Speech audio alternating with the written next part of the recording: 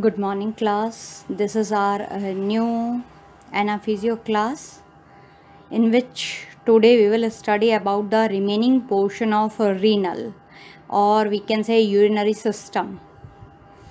तो urinary system की एनाफीजियो अपन पढ़ रहे थे ना जिसमें अपन ने लास्ट क्लास में ग्लोमेरुलस और उसके फ़ंक्शंस वगैरह के बारे में पढ़ा था और मैंने आपको कुछ होमवर्क भी दिया था ये वाला आपको जो किडनी लोब है, इसको देख करके अपना असाइनमेंट याद आ रहा होगा कि मैंने असाइनमेंट दिया था कि आप इसको पूरे को अच्छे से लेबल करके देंगे। तो मेरे पास इसकी डायग्राम की लेबलिंग पहुँच जानी चाहिए। आज हम उसी क्लास को आगे कंटिन्यू करते हुए फिजियोलॉजी पढ़ रहे हैं यूरिनरी सिस्टम की। या आप कहिए फंक्शनिंग पढ़ रहे हैं और आप जानते हो यूरिनरी सिस्टम का मेन फ़ंक्शन होता है यूरिन फॉर्मेशन तो यूरिन फॉर्मेशन पढ़ लेते हैं। ब्लड प्लाज्मा से यूरिन बनता है।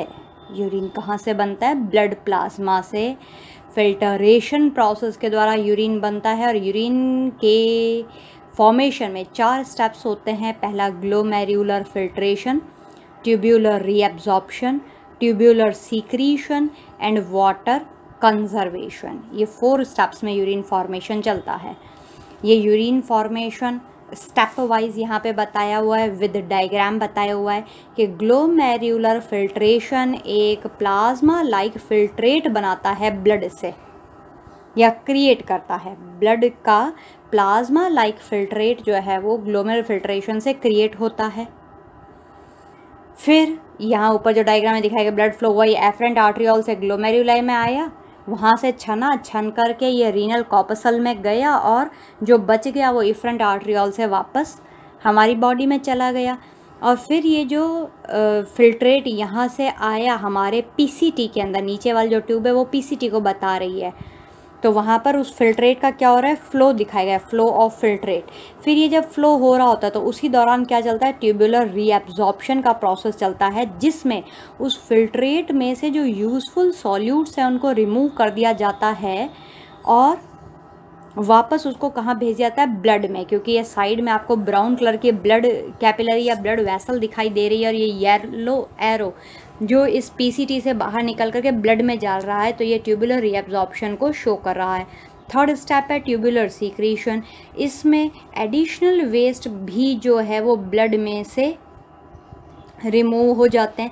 ये मान लो उस ब्लड में कुछ चीज़ बच गई थी अभी भी, जो हमारे काम की नहीं है तो वापस क्या हो जाती है? सीक्रेट हो जाती है उस ट्यूब्यूल के अंदर। तो ये जो सेकंड एरो दिखाया गया थोड़ा सा डार्क ब्राउन कलर का, जो कि ब्लड वेसल से इस नेफ्रॉन की ट्यूब तक जा रहा है तो वो प्रोसेस है ट्यूबुलर सिक्रीशन का। इस पैरिट्यूबुलर कैपिलरी से कहाँ जा रहा है? नेफ्रॉन तक जा रहा है तो वो ट्यूबुलर सिक्रीशन का है, जिसमें ब्लड में से एडिशनल वेस्ट रिमूव कर दिए जाते हैं और उसको उस फिल्ट्रेट में वापस घुसा दिया जाता है।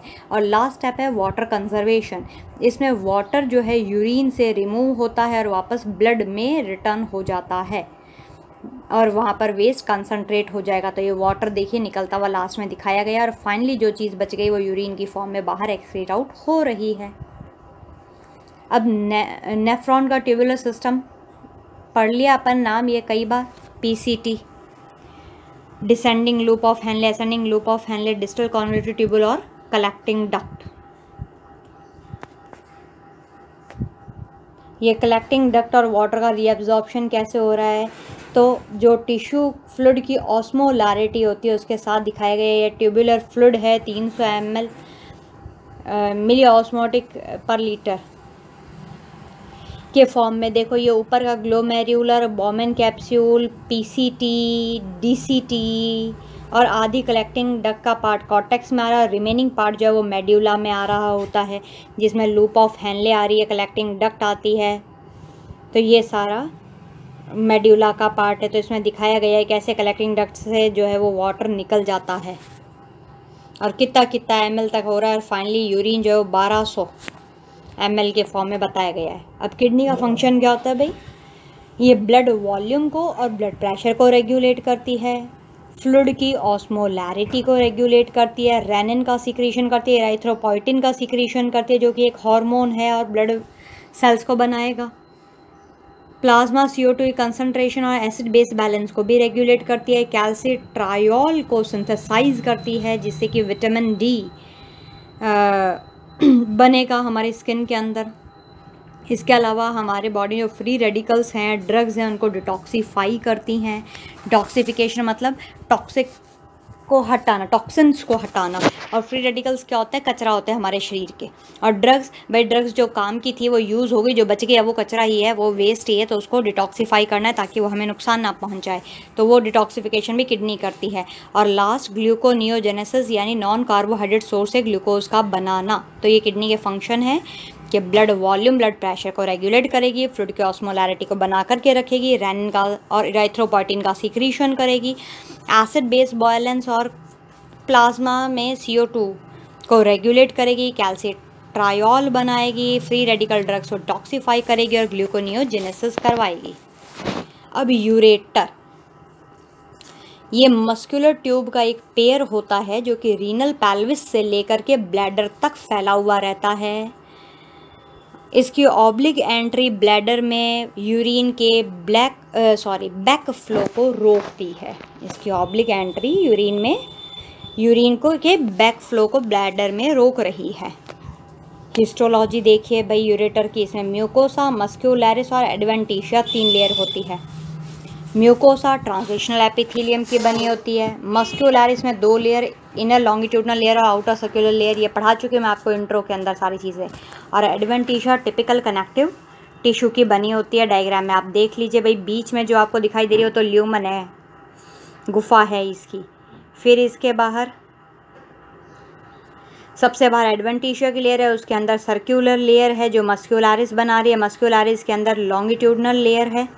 इनर के साइड में क्योंकि आउटर सर्कुलर होते हैं ना लॉन्गिट्यूडनल और उसके अंदर जो है वो म्यूकोसा जिस जो कि ट्रांजिशनल एपिथीलियम की बनी हुई है लेमनिया प्रॉपरिया इसके अंदर होता है।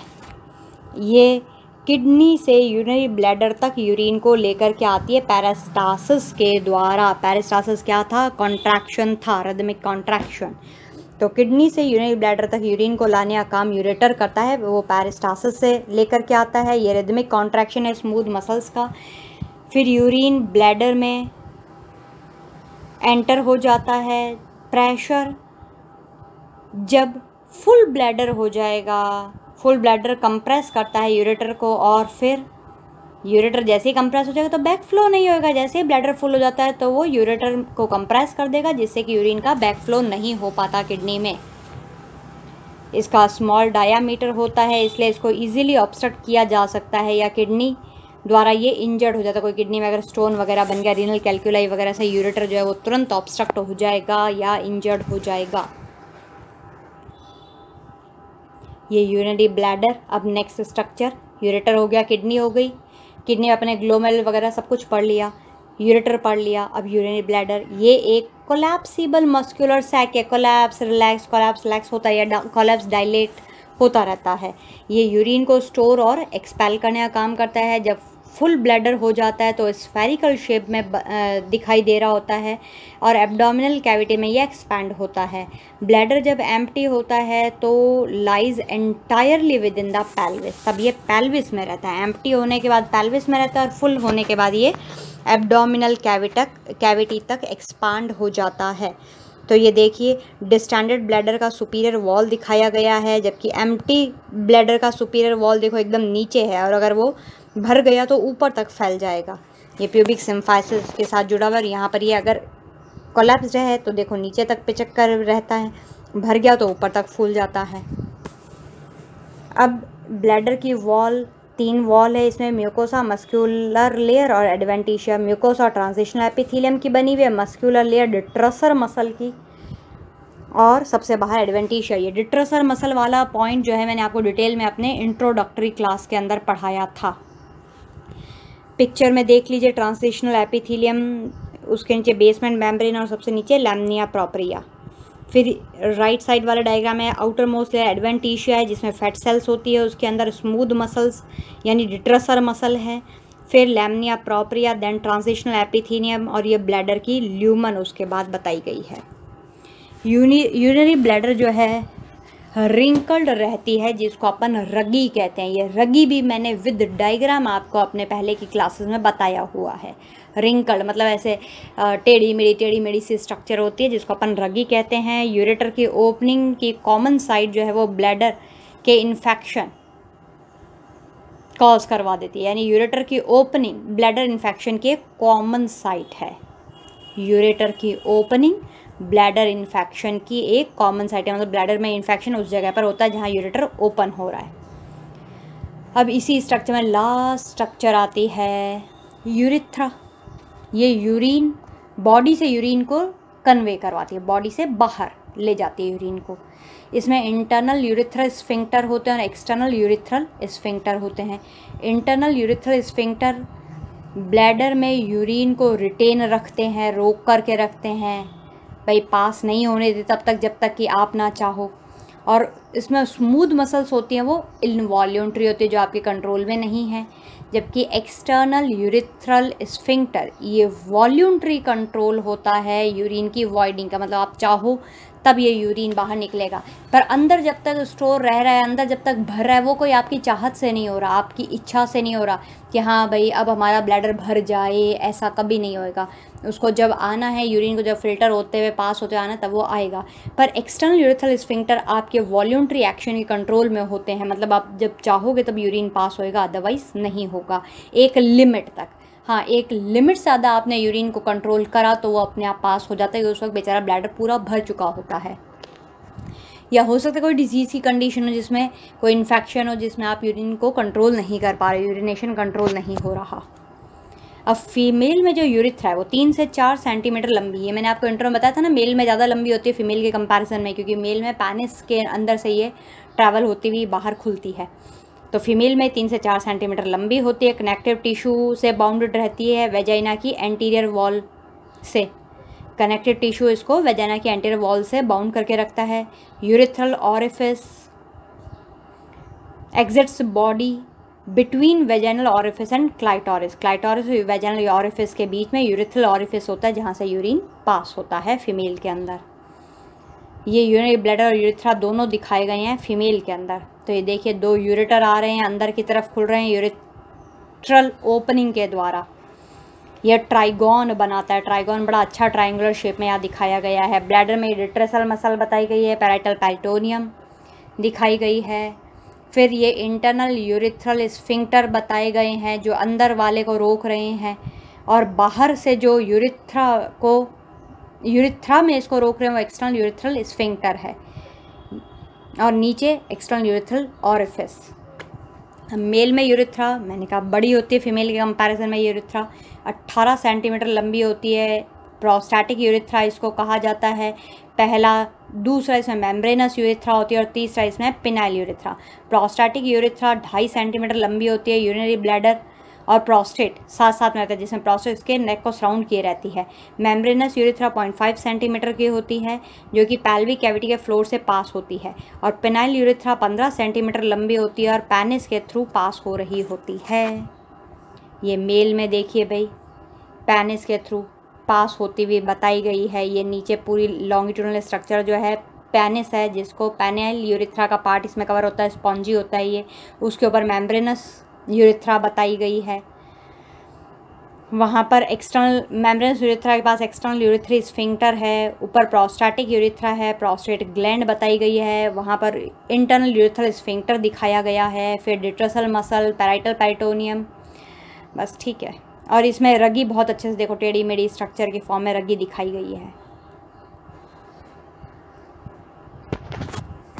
अब यूरिन का एलिमिनेशन कैसे हो रहा होता है? तो भाई देखिए, यूरिन का एलिमिनेशन को हम यूरिनेशन कहते हैं। यूरिन का एलिमिनेशन क्या कहता, कहलाता है? यूरिनेशन और आम भाषा में इसको अपन मिक्चुरेशन कहते हैं। लगभग 200 सौ यूरिन हेल्ड रहता है बॉडी में। डिस्टेंशन इसका इनिशिएट होता है जब आपकी वॉइड करने की इच्छा हो, अपने आप नहीं निकलता, बच्चों में निकलता अपने आप। आपके अंदर इसका डिस्टेंशन तब होएगा जब आप वॉइड करना चाहेंगे। कौन कंट्रोल कर रहा है इसमें? इंटरनल और एक्सटर्नल स्फिंक्टर लगे होते हैं। इंटरनल स्फिंक्टर रिलैक्स होता है इन वॉल्यूंटरली वो आपके कंट्रोल में नहीं है और वहाँ पर स्मूथ मसल्स होती हैं। जबकि एक्सटर्नल स्फिंक्टर वॉल्यूंटरी रिलैक्स होता है। आपकी इच्छा के अकॉर्डिंग रिलैक्स होएगा। इसमें स्केल्टल मसल्स का रोल होता है, पर ये बच्चों में इसका कंट्रोल पुअर रहता है, इसलिए बच्चों में यूरिन अपने आप पास हो जाता है, और ऐसा बुज़ुर्गों में भी देखा जाता है। ब्लैडर की मसल कॉन्ट्रैक्ट होएगी, और यूरिन जो है वो यूरिथ्रा के थ्रू बाहर निकलेगा, जब ये अपना फ़ंक्शन करते हैं। अब इस यूरिन वाले पार्ट को, इस यूरिनेशन वाले पार्ट को अपन अपनी नेक्स्ट क्लास के अंदर डिटेल में पढ़ेंगे।